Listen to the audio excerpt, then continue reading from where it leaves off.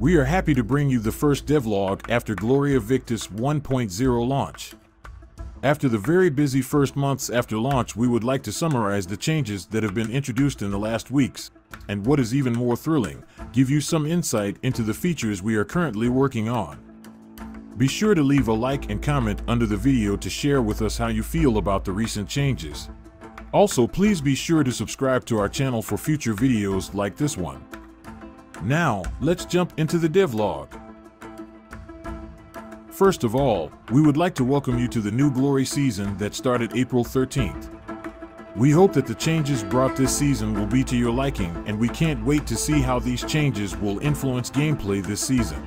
And I'm doing it in 3, 2, 1 now. The world of Gloria Victis has become inhabited by a new and unique werewolf boss.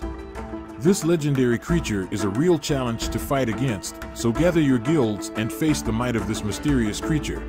Killing the werewolf is no easy task, but the unique and precious rewards await those who dare to battle the beast and kill it. But make no mistake, as the bite of the werewolf can haunt you even after the beast is defeated, and only one man in Stoneholm knows the cure. Valley of Death Tournament has received a new and thrilling siege game mode. This new mode features a unique map that will become a place of massive sieges, glorious victories, and noteworthy encounters. Show your flashy combat moves, or become the strategic genius leading your nation to victory. Use the new siege ladders to swiftly capture the walls or use trebuchets to tear down the buildings and walls as there is an entire city to burn. In the past weeks, we also introduced a new type of quest boards connected with crafting.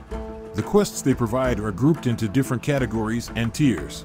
You can find them in both the non-loot zone and in the loot zone, making them a great way to level up your crafting skills and earn great rewards. Last week, we added nearly a hundred new lore fragments connected to the siege of Edring and the caravan trapped in the caravanserai amidst the Azebian deserts, the scenarios from Gloria Victis Siege Survival. The fragments are grouped into nine lore collections that can be found across the map, with each collection being placed in a specific region of the map. Mount up and ride out to find them all and earn unique titles. Based on the data we gathered and our internal tests, we were able to make some adjustments to the controller. The improvements should make fighting more satisfying, with less body blocking and a better feeling for shorter weapons. We also applied some changes to certain weapons that should improve the overall balance on the battlefield. We have decided, based on our data and the feedback of our community, to make the two-handed spears and great spears longer. We also shortened the halberd and decreased its damage modifier from side attacks. These changes should improve the variety of weapons used in combat as well as make their balance much better. Shortening the halberd and increasing the length of spears will make them a viable alternative for the halberd, breaking its domination as the weapon of choice for players wanting the highest range. Our artists and level designers are hard at work to bring some more graphical enhancements that will improve the overall visuals of the game. We implemented a big batch of remodeled trees to the game as well as improvements to the visuals of the wooden fences and other small props. The new trees have more variants than before, making the forests around the world of Gloria Victis look more unique and varied.